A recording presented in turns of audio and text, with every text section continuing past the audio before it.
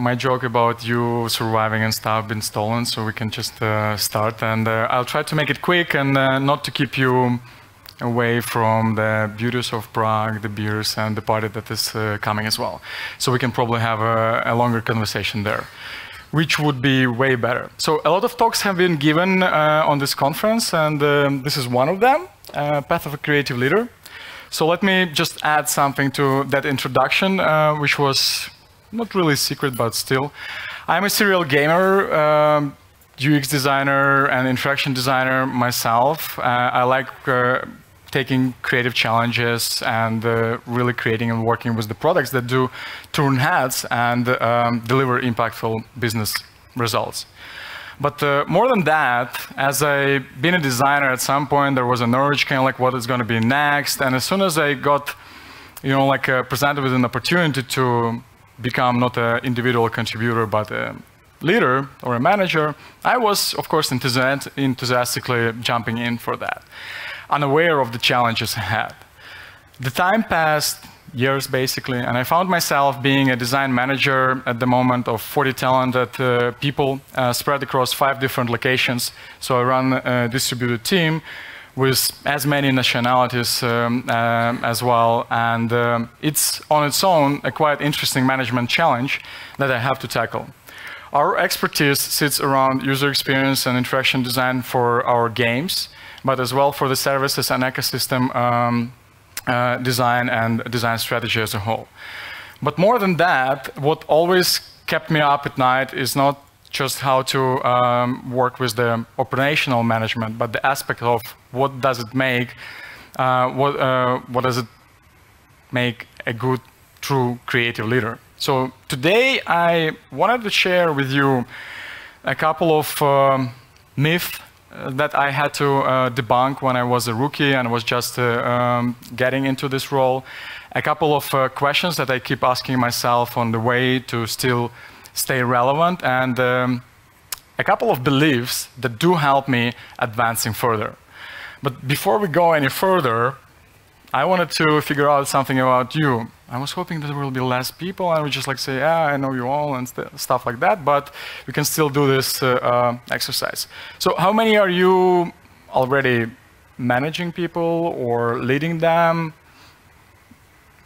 And uh, how many are you just became managers who kind of like really uh, new with this position and uh, leading? defining leading, this is the whole presentation uh, about, so I'll, I'll be defining it uh, a bit more in pieces and so on. So, but the short one would be, you're managing people by authority, but you're leading people that follow you. And, yeah, you manage? Great. Uh, but I hope you are leading him or her as well. So, and uh, how many guys are in senior or director level design positions? Great, great. And uh, um, anybody else who's left uh, doing other things just uh, here because you have nothing to do or didn't get to another talk uh, where the guy is serving vodka or something? I, recognize people. Thanks. So um, we can start actually with the first myth, and the first myth is pretty um, simple is the summit. So when I was a designer, I always thought like, yeah, gonna get to be a manager and then I'll be able to make all of these uh, important decisions and I know how to run the team. I know how to make it proper. I'll be making my very own and autonomous decisions on like the processes, the priorities and everything else that I'm being responsible for. But as soon as they reached that level, I realized that actually the summit was not the top, but very bottom, and there is like the whole way ahead that I have to tackle. So at some point, um, I was talking to my friend, and he introduced me to the Peter Principle. Um, it resonated with me a lot, maybe because of the environment that I work with. I don't know if you uh, know about this, but this is ac actually about the tendency in uh, big organizations with hierarchical structures that uh, do rely on people getting promoted in the new roles, that whenever you get promoted, you actually uh, do not stop there because you're competent, and then uh, within some point you're going to get promoted further on, up until the point when you're in a role where you're not competent anymore, so you cannot prove that you have to be promoted any further. And if you follow what I'm saying, then it means that on a lot of hierarchy levels, you have incompetent people. And uh, me, myself, as a manager, as a designer, when I realized that, I was afraid that I'm one of them. So I was trying to stay on top of the things and actually understand kind of how to overcome that and how to not be in that position of an incompetent manager that is not going to be promoted any further and as well taking the creative challenges. So one of the way, this is kind of like, you know, the uh, simple graph. One of the ways to overcome this uh, and this is the ideal way, is by the company to provide you with an appropriate uh, training that is corresponding or appropriate for the role that you got promoted uh, into. In my experience, it rarely happens simply because there is no such practice in the company and you were, or they were not prepared for that, or you have to instantly kind of like extinguish some fires, or you have to rally the troops right away. So you better be very aware of that and uh, do your homework, not to leave it to the chance. So, and it brings me to the next myth that I had to debunk, and this is the myth of mastery. I'm still kind of like dealing with that, but as a creative person and a designer, I was probably wrongly kind of like expecting that the skills that I had and my experience, this is what brought me here, and this is definitely what is gonna help me to advance further. And at some point, I understood that more managing uh, I will be doing, less design I will do. And it actually made me really kind of like be in a bad mood, trying to understand kind of like, is that what I want, or and so on and so on.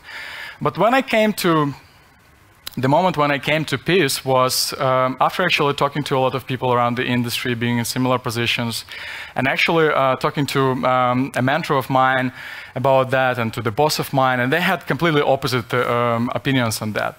But I came to an opinion that it's actually not the end of my uh, career as a designer. I can still be a designer, but I can be guiding and directing people forward in, uh, that are implementing the design. So therefore, I can be even more helpful uh, because I can influence, you know, like uh, multiple people.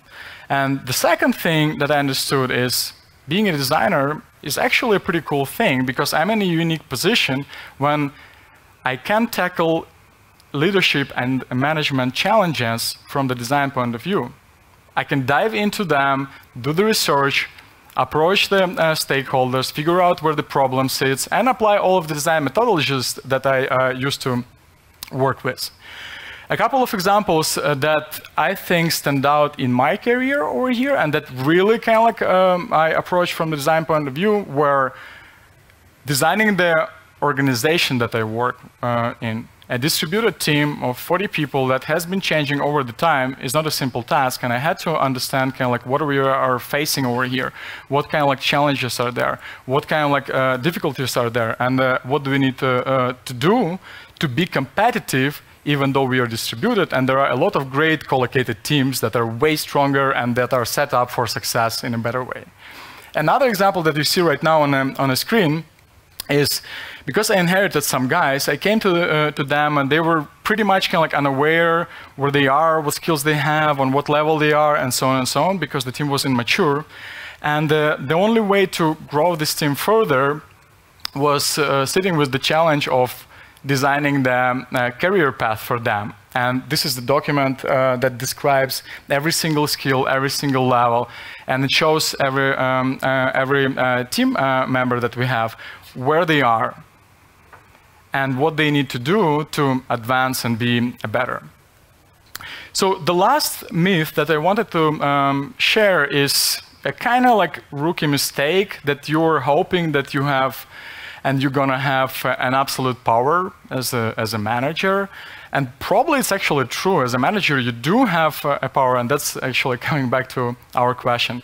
But uh, you cannot expect that people you command are going to actually respect you and instantly trust uh, you, and they will follow you as a leader. So those two things were um, the things that I had to realize at some point.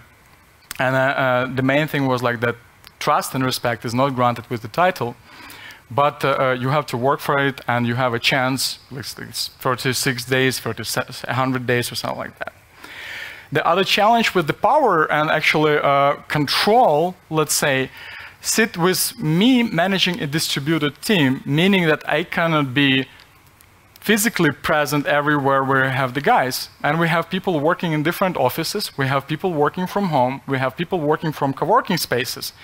And I totally cannot be sure about their performance or about their emotional state, or even about kind of like if there are any kind of like problems in the projects by simply being there. And uh, it instantly leads to, at least for me, you know, to um, a conclusion that I have to micromanage them. I have to kind of like be sure that everything is going according to plan. But at some point, it was taking so much from me that I was like on the way to paranoia, simply because of uh, the nature of people. You do not really trust each other, and uh, uh, when you have some guys again, kind of like working remotely, you really have this urge for micromanagement. So the only way to overcome that was for me to really come back to me being before, for instance, like as an art director or designer and trusting my guys way more. And instead of kind of like trying to control them, I started to handing out them uh, priorities, not tasks, and give them a creative freedom actually in how they want to execute them. This is uh, um, because we've been talking about that within the team as well, and this is the representation done by one of our designers, Camille, um, about this whole situation and paranoia that everybody is like in a different location and you don't really of like understand what's going on. And that's the clicker. So the thing you have to do here, you are constantly clicking the answer Skype and you have to deal with all of this kind of like red um, exclamation marks. Otherwise, my patience gets low and uh, you know the game um, ends. So um, the next question I've been asking myself uh, uh, to keep on the top of the things is uh, actually who you are or who am I. And in this case, um, it's important to understand that if you're leading people, they're looking up to you and they do expect some something. And designers in this case, and I'm really happy to work in this industry, especially in game development and with design discipline in particular, are very demanding individuals. They have the self-awareness, and more than that, uh, you know, like our team contains like different nationalities, and meaning they have very different mentalities and very different backgrounds.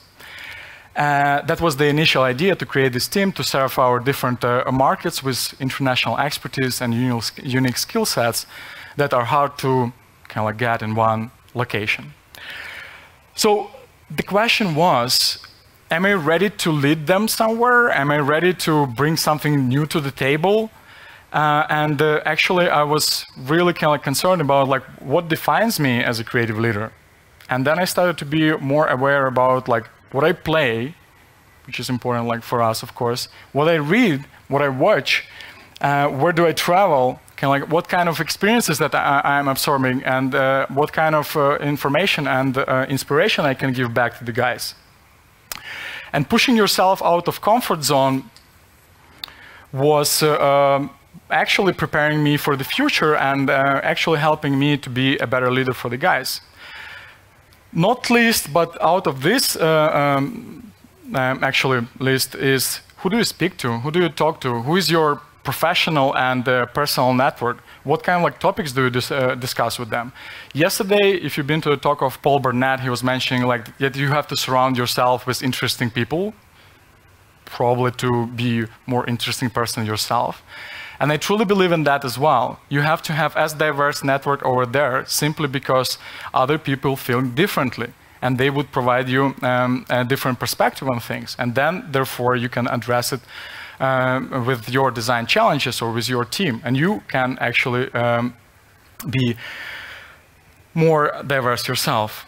So one of the approaches uh, that we uh, employ within our team is we do encourage everyone to travel to the locations where other guys are sitting. It doesn't matter if it's an office or just like somebody lives, for instance, like there. Uh, it's semi-official official because they have to pay for the travel and accommodation themselves. But they do not burn their vacation days.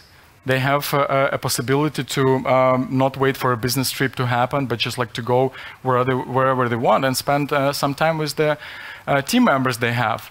Those are just a couple of uh, photographs from me because like I'm based in Amsterdam, so that's a pretty popular location, uh, which ended up for me feeling at some point that I'm not living anymore in my house, but that's a bed and breakfast for people just dropping by and visiting. But I'm happy about that because through that, I could be more open and transparent with them and I could learn way more about themselves as well because usually they would come with kids, friends, wives, girlfriends, boyfriends, and so on and so on.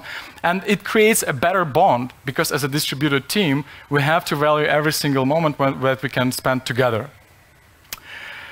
So the next question was around the same area, but a bit more uh, critical. And um, I form it as like, have I got the balls to, as a leader, you know, like to abandon the past, to make bold decisions, change and adapt for the future as the team uh, uh, manager and as a uh, leader myself. And most important, am I ready to stand and commit for something meaningful beyond my personal agenda, meaning that I'm not driven by my very own goals, but we are striving to do something better. And as designers, that's the value that we bring.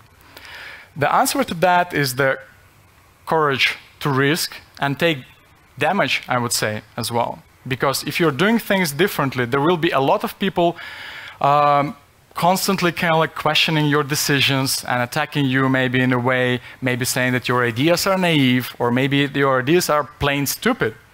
And the only way to sustain that is for me was the answer in my like previous uh, life and design skills because like going through a lot of iterations on the project getting a lot of feedback to the work that you do develops a very thick skin and that's the uh, thing that i have to you know, like bring back to the team, and I have to um, actually share it with, with them as well.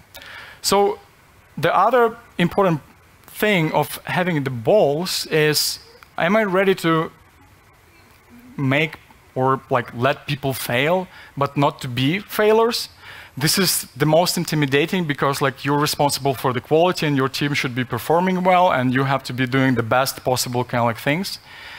And uh, um, I'm in a position to put designers to the right projects. And for me, this match is one of the uh, reasons for their actually best job ever, kind of like that they can do over there. But if the fail happens, then use the healthy approach to collect some lessons learned from it.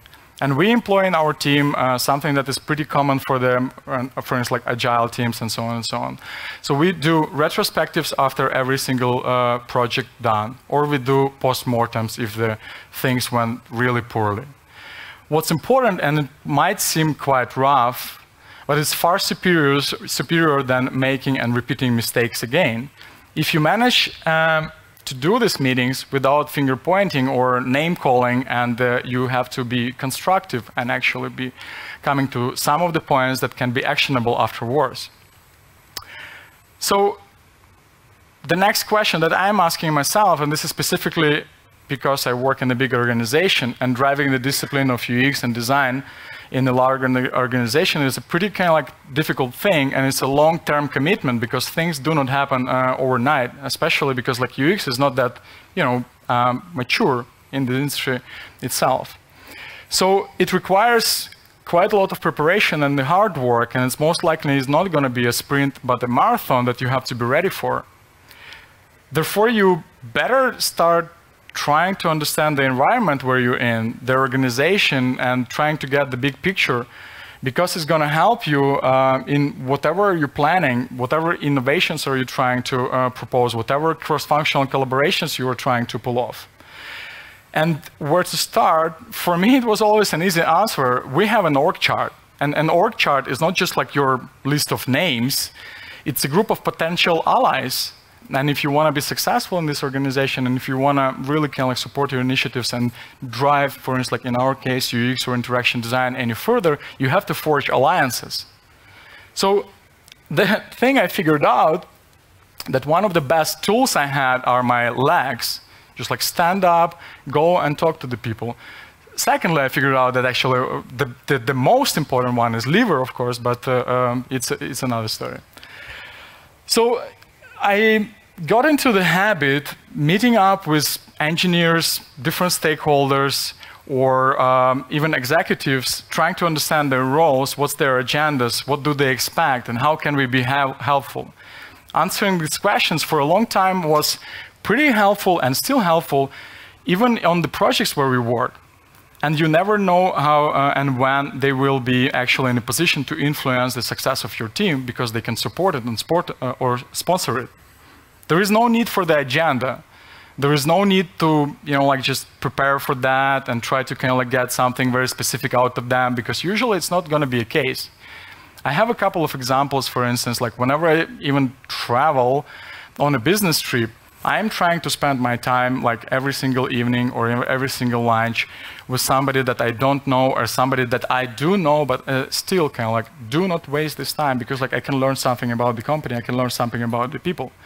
And it's important because I can understand what their needs are, where they are, how mature their understanding about the UX in general, and I can evangelize or educate or just put it on their radar so they would be aware that this discipline exists, this is what we are doing, and this is kind of like where we are going with that. Speaking a new language, that's just a, a simple advice. And uh, um, there were a lot of talks that designers can code or designers can do animations or motions or whatever, like especially UXers or uh, interaction designers. In my opinion, designers should learn uh, business language. They need to speak uh, to people and especially executives and uh, managers in a language that they do, do, understand. And this is what is lacking in a lot of um, teams and a lot of organizations as well. So uh, this is another example. Um, I got an opportunity at some point to pitch an idea to our CEO, Victor. And uh, my slot was in um, San Francisco during the GDC, had an hour. And right before that moment, uh, I had a call like one hour before with our entire team, and we were doing the dry run. Why it was important? Because like they provided the support to me, even though like they were on a completely other kind of like side of the world with different time zone and so on and so on. But they believed in what I'm going to be pitching because this is something that's important for our team. This is something that we do share. And this is something that we are doing together because otherwise it's impossible to turn this machine kind of like, you know, this entire corporate battleship. So on this positive note, I just wanted to talk a bit more about the beliefs. There are three of them and we are done and, uh, you know, like you're uh, happy to go. Uh, one of my again, kind of like uh, personal responsibilities as a creative leader and a manager as well is to build and sustain culture and philosophy of our team. And uh, uh, usually what I learn is that people do not uh, uh follow you or they, they do not come to, uh, to their jobs every single day and they do not stay there and they do not have fun because of what we do. They go there and uh, they do it because of why we do it especially designers and creatives are very egocentric people and uh, at the same time they require a really strong set of values they, that they need to believe in. And usually it's like making a difference, not just another interface or a set of icons or, I don't know, um, whatever task is out there. All designers are striving to solve interesting problems where their work can make an impact. And uh, um, their work uh, is usually kind of like about like why are they doing that? So this is the most important kind of thing. Respecting their value in this case is uh, very inspirational. And uh, uh, at some point, just to get it out of the conversations, we decided to put it in something more tangible. So we created a design doc, and I involved uh, everyone from the team to help me out, like uh, figuring out like what is our philosophy and everything. The interesting th thing that happened is at the very beginning, uh, I handed that, uh, them a draft, and it was like having a vision and mission. And they came back to me and said, like, "Hey, man, like, if you want us to believe in that, uh, we need to agree on one rule. There will be no corporate bullshit, and only the stuff that really matters for me." I was like, "Yeah, okay, I'm, I'm, I'm happy to commit to that, and uh, I'm happy to do this um, all together." And this is actually why do we exist and everyone on the team knows that, and everybody uh, on the team uh, believes in that. We are pushing the boundaries of uh, uh design within our company, within our uh, products, but we are pushing them and we are striving to push the industry as well. And this is our goal. We are not just creating, for instance, products, we're creating the top-notch products. And top-notch products for us mean the great experience for players. And then uh, it means that our business is successful. So, yeah, I managed to get some of the corporate uh, uh stuff in there anyway. But uh, this is indeed what makes uh, the question why solid. So my role then becomes a bit of a different kind because I, I need to make sure that we are staying true to ourselves. And uh, to make sure that this is happening, I need to be aware of who do we hire because the team grows, as any healthy team out there. And whenever you're hiring, you don't need to hire people that are just like in need for job or money. You need to hire that do share the same beliefs as you have. You need to hire people that are here to achieve for the sake of achievement. People with strong intrinsic motivations, something that we do have as values and we do have as a core in our team as well. But to make it really work, uh, we rely and believe in the process, which is kind of like controversial because we're supposed to be pirates and dreamers and creatives and designers and so on and so on. And process is something very kind of like solid and strict and uh, to some extent bureaucratic. But I actually uh, share uh, my opinion here, and I was surprised uh, about uh, um, Mike Hill uh, talking about that today. But uh, they even have a process and a very detailed one, which is really helpful for the art production, for um, art creatives and uh, people from that industry. That, uh, uh, in my case, I guess it's a bit, just like a bit different. But we believe in the process not as something kind of like completely strict and set in stone, but something more kind of like flexible. And even though at some point, because like we work with a lot of different teams, they're spread across the world, they have their own um, expectations and so on and so on. We defined every single phase of a design process. And it has information about what the roles are involved, what kind of artifacts are going to be kind of like uh, provided as a result. But the main reason for that is that our designers and our creatives are not spending time figuring out like how to do things and what to do. They're doing their job. They're busy with solving the problems and creating better products. Therefore, we even give them the templates over there. Just download them, fill them in, because like we value design documentation. And uh, therefore, for instance, like developers, when we're handing over this documentation to them, are happy as well. This is why business analytics are happy with us, kind of like being quite organized and so on and so on. But it doesn't mean, again, kind of like that we're blindly following the process. So at the beginning of every project, we have a liberty to sit with them and define, like, what do we need from here? Like, so we are picking only the things and methodologies that do make sense over here. So they know what to expect.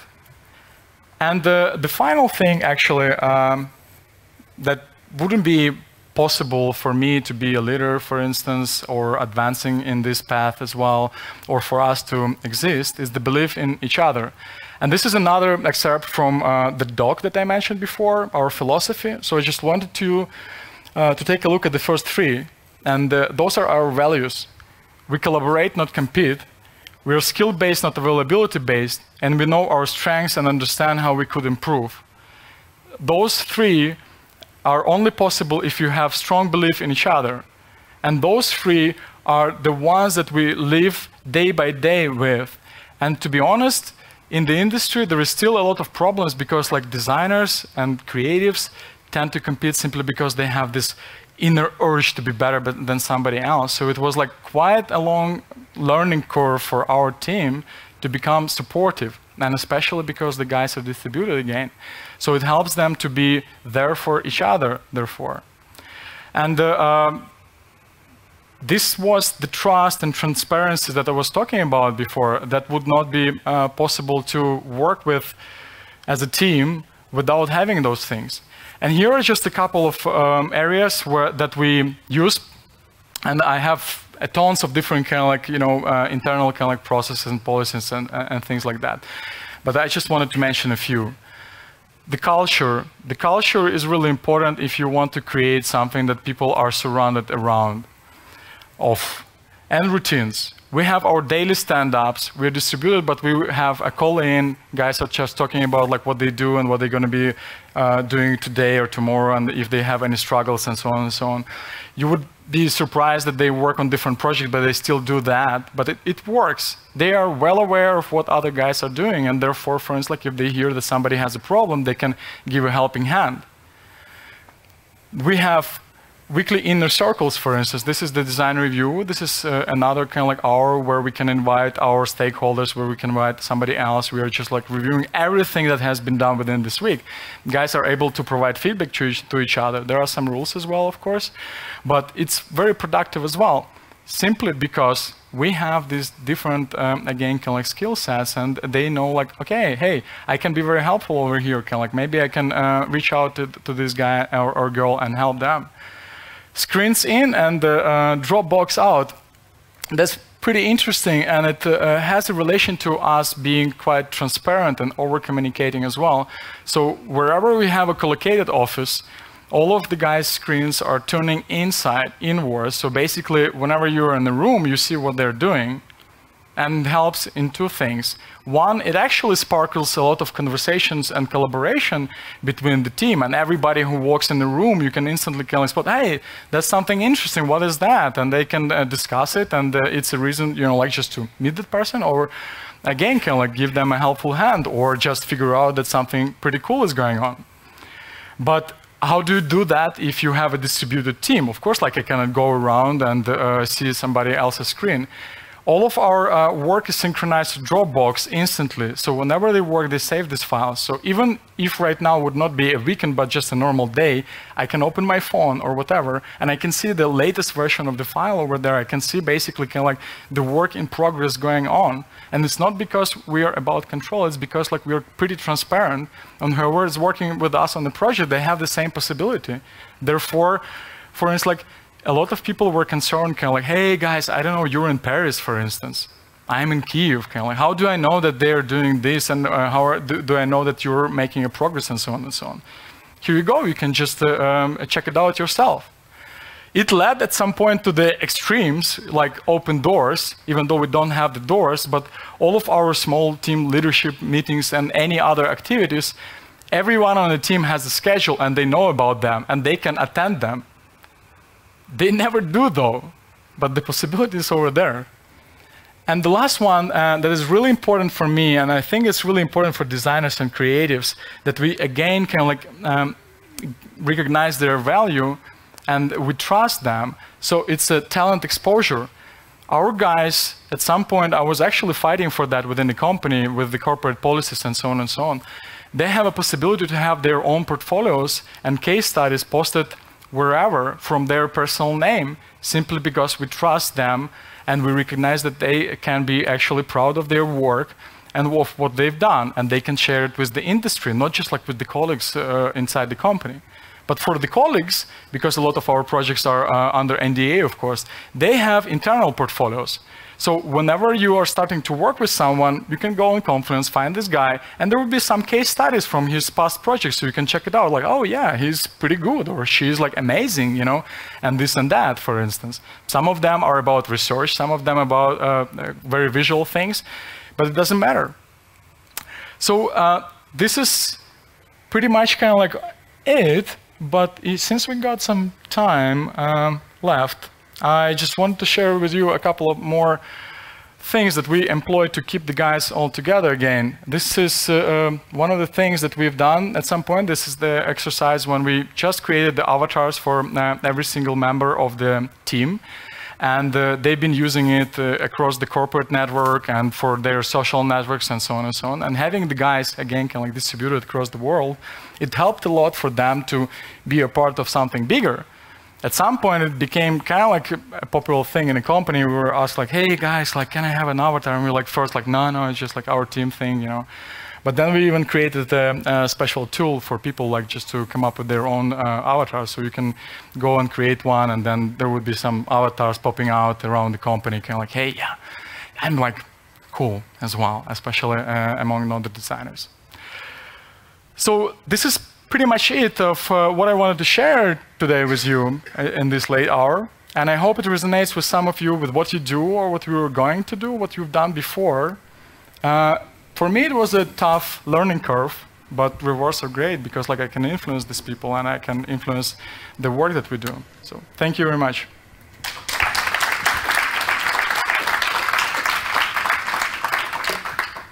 Thank you, Konstantin, for an amazing presentation. You really managed to lead and capture the audience attention. Dear audience, please support the last speaker with the last questions. This is your last chance. Last questions. Here. Yeah, please go ahead. Oh, Yes, but not mine. Uh, thank you. It was a great presentation. I really enjoyed it, despite it being the last in the day. Uh, my question is, uh, I don't know if it fits the exact theme of this presentation, but I'm going to ask away anyway. Um, as I understand it, and please free, free, feel free to correct me if I'm wrong, there are two um, opposite approaches to creative leads. Uh, one is that the creative vision of, of a project uh, spreads out from one person, the author, and that person is in total control of everything that's going on in, in the creative uh, process.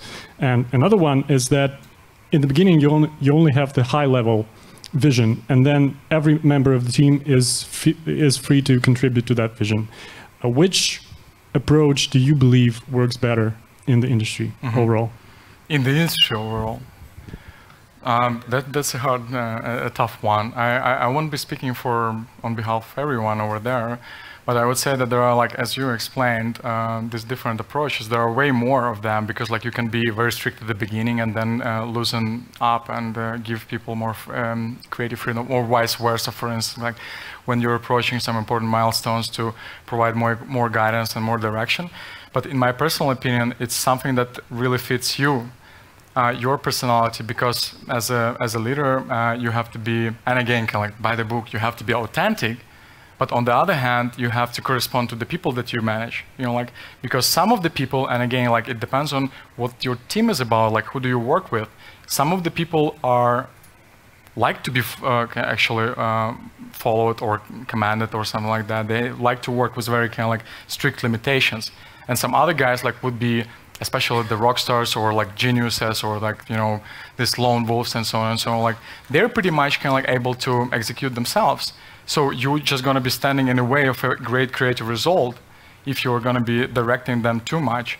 So. Uh, this all depends on you, and that's another uh, challenge, kind of like to recognize what would be the best way to approach this specific project and this specific team. If you're in control, of course, like you can create the dynamic that fits you better or fits the product better. All right, thank you. Thank you. More questions? Here.